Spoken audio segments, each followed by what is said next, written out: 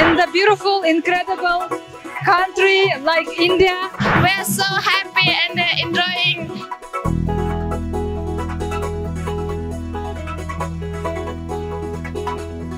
International Kullu Dussehra festival के इतिहास में पहली बार ढालपुर में 14 देशों से आए सांस्कृतिक दलों की कल्चर्ड परेड निकाली गई।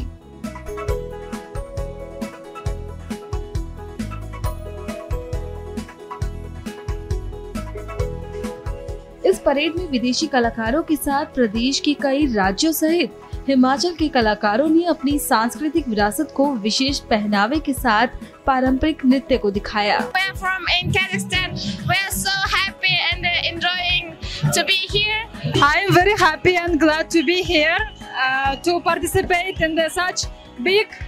International Kulu Festival in the beautiful, incredible country like India with full diversity.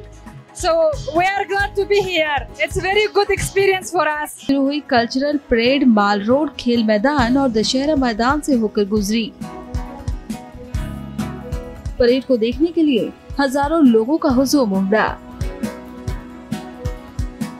देशी और विदेशी सैलानियों ने तालियों से परेड का स्वागत किया